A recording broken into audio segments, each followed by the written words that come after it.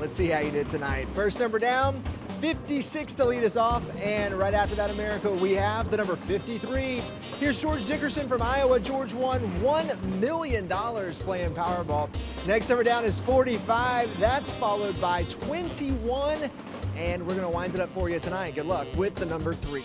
All right, now for your winning Powerball number, it is 22 tonight, and that Power Play multiplier is 2.